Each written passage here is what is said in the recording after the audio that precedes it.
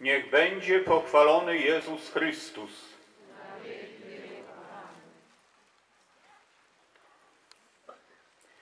Ojcze nasz, któryś jest w niebie. Ojcze nasz, któryś jest w niebie. Bracia i siostry, dziś w uroczystość wszystkich świętych oczyma wyobraźni i wiary patrzymy w niebo. Dom Ojca, gdzie jest Jezus, nasz Zbawiciel i Pan, ukrzyżowany i zmartwychwstały, zwycięski. Tam też są ci, którzy wybielili w Jego krwi swoje szaty. Osiągnęli już swoje wieczne szczęście w niebie. Święci zmierzali do Boga różnymi i niepowtarzalnymi drogami. W ich gronie są tacy, którzy przez całe życie pielęgnowali chrzcielną czystość sumienia, ale i tacy, którzy najpierw błądzili. Ludzie o trudnych nieraz charakterach, a nawet którzy wiele zła wyrządzili swoim bliźnim, ale jednak w którymś momencie życia uświadomili sobie swój grzech, nawrócili się, skorzystali z daru łaski i Bożego miłosierdzia. Napisał apostoł Jan, ten, który w wizji nieba zobaczył zbawionych i świętych, że są ich niezliczone miliony, niezliczone miliardy i że śpiewają pieśń chwały i uwielbienia wpatrzeni w Chrystusa. Wśród tych świętych są wielcy święci. Najświętsza Maryja Panna, Matka Chrystusa. I tylu świętych, których Kościół wyniósł do chwały ołtarzy, ale i ci nieznani nam. Wśród nich są święci ostatnich lat, których świętości jesteśmy świadkami, jak choćby święty Jan Paweł II, jak święta Matka Teresa z Kalkuty, Widzimy wśród tych świętych także naszą Jarosławiankę, sługę Bożą Annę Jenkę, o której beatyfikację się modlimy. Bracia i siostry, patrząc dziś w niebo, szukamy twarzy naszych bliskich, tych, którzy nas kochali, i których my, mimo że odeszli, nie przestaliśmy kochać.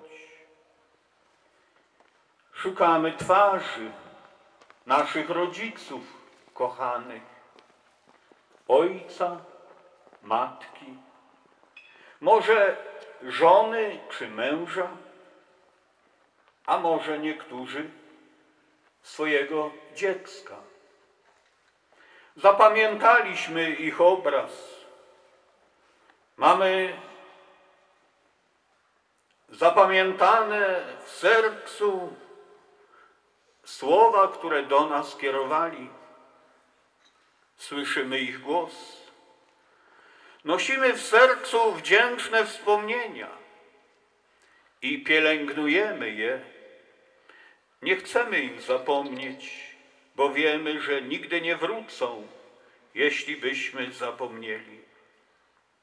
I właśnie dziś, gdy stajemy przy ich grobach, pojawia się refleksja, wracają wspomnienia, może też łza w oku.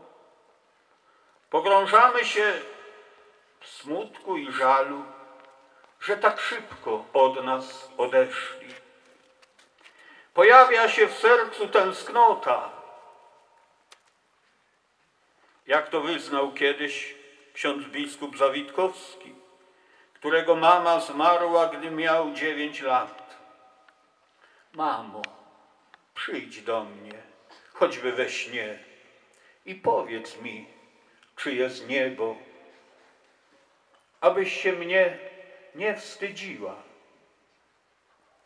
Mówił kiedyś Benedykt XVI, gdy tęskniliśmy za Janem Pawłem II po jego śmierci, aby przybliżyć się do Jezusa, bo w nim żyje nasz ukochany papież. I im bliżej będziemy Jezusa, tym bliższy będzie nam nasz święty rodak. Bracia i siostry, gdy tęsknimy za naszymi bliskimi, przybliżmy się do Jezusa, do Jego otwartego serca. W Nim żyją ci, co odeszli. A w domu Ojca jest mieszkań wiele. I On, Jezus, jest drogą do Ojca, jest życiem i zmartwychwstaniem. Drogą do Ojca jest Jego Ewangelia, Jego Słowo, program uczniów Jezusa, który wygłosił na górze, zapisany w Ewangelii Mateuszowej, który dzisiaj został odczytany. Błogosławieni są ci ludzie ubodzy w duchu, ci, którzy się smucą, którzy są cichego serca, którzy łakną i pragną sprawiedliwości. Błogosławieni są ludzie miłosierni i czystego serca i wprowadzający pokój. I ci, którzy cierpią prześladowanie dla sprawiedliwości. Dla nich, mówi Jezus, wielka jest nagroda w niebie. Wielka jest nagroda w niebie, w domu Ojca. Bracia i siostry, pamiętajmy, że świętymi stajemy się tu, na ziemi, pośród codziennych trosk i zajęć. Świętymi stajemy się dzień po dniu, gdy cierpliwie i wytrwale podejmujemy Jezusowe Słowo, podejmujemy formację naszego serca dzięki Bożej łasce. Ci, którzy Mu zaufali, stają się święci, podobnie jak On jest święty. Słyszeliśmy w drugim czytaniu. On jest święty wśród świętych i daje siłę tym, którzy Mu ufają. I więcej jeszcze, daje Ducha Świętego, który nas uświęca. Święty Bernard mówił, wy bowiem jesteście świątynią Ducha Świętego, który został wam dany i który uświęca wasze dusze i ciało po to, by wasze życie było święte. Zaiste godny podziwu jest Bóg w swoich świętych, a są nimi nie tylko ci, którzy przebywają w niebie, ale także tymi Pana. a jest on godny podziwu, bo jednych uszczęśliwia, a drugich uświęca. A więc dzisiejsza uroczystość jest wasza, ukochani bracia i siostry. To wy jesteście oddani i poświęceni Panu. To was On wybrał i wziął w posiadanie, abyście byli święci i nieskalani przed Jego obliczem.